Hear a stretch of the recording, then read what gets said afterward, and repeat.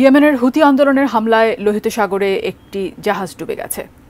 গাজা যুদ্ধ শুরু হওয়ার পর থেকে ফিলিস্তিনিদের সমর্থনে পশ্চিমা জাহাজে হামলা চালিয়ে আসছে হুথিরা বাণিজ্যিক জাহাজে হুতিদের হামলা শুরুর পর লোহিত সাগরে জাহাজ ডুবির প্রথম ঘটনা এটি।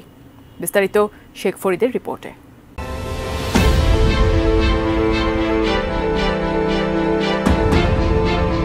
লোহিত সাগরে ইয়েমেনের হুতি আন্দোলনে হামলায় বিধ্বস্ত কার্গো জাহাজটি ডুবে গেছে।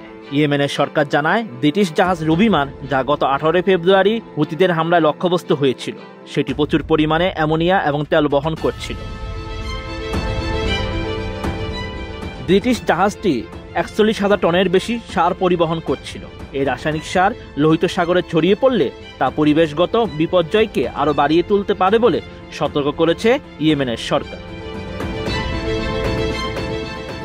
এক প্রতিবেদনে আল জাজিরা জানায় গত আঠারোই ফেব্রুয়ারি লোহিত সাগরের দক্ষিণাংশে প্রেইটার রুবিমান নামের কার্গো জাহাজে হামলা চালায় হুতি যোদ্ধারা।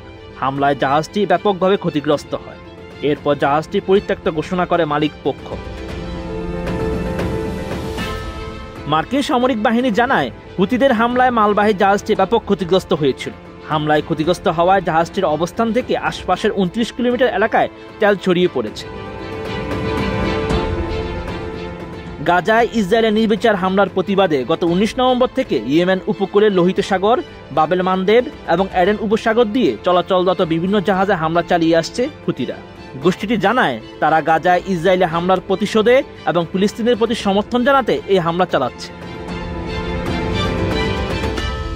ফিলিস্তিনপন্থী গোষ্ঠীটির হামলার কারণে পণ্যবাহী জাহাজ চলাচলে ঝুঁকি বেড়েছে। হামলা ঠেকাতে যুক্তরাষ্ট্র, যুক্তরাজ্য ও তাদের মিত্র দেশগুলো ইয়েমেনের গোষ্ঠীটির বিভিন্ন লক্ষ্যবস্তুতে নিয়মিত হামলা চালাচ্ছে। কিন্তু এতে খুব একটা সফল হয়নি তারা। গাজায় ইসরায়েলি আগ্রাসন বন্ধ হলে লোহিত সাগরে হামলার বিষয়টি পুনর্বিবেচনা করবে বলে জানিয়েছে হুতি সদস্যরা। সম্প্রতি এক বার্তায় সত্য সাপেক্ষে আন্তর্জাতিক পণ্যবাহী জাহাজে ক্ষেপণাস্ত্র ও ড্রোন হামলা বন্ধ করার দিকে ইঙ্গিত দেন গোষ্ঠীটির মুখপাত্র। যুদ্ধবিরতি চুক্তি হলে হামলা বন্ধ করা হবে কিনা জানতে চাইলে হুতি মুখপাত্র মোহাম্মদ আব্দুল সালাম জানান, গাজার অবরোধ তুলে নিলে এবং অবাধে মানবিক ত্রাণ প্রবেশ করতে পারলে পরিস্থিতির পুনর্মূল্যায়ন করা হবে। গাজায় ইসরায়েলি আগ্রাসন ও অবরোধ বন্ধ না হলে ফিলিস্তিনি জনগণের জন্য ভালো হয় এমন কোনো অভিযান বন্ধ হবে না বলে জানিয়েছেন হুতি মুখপাত্র। শেখ ফরিদ, এটিএন নিউজ।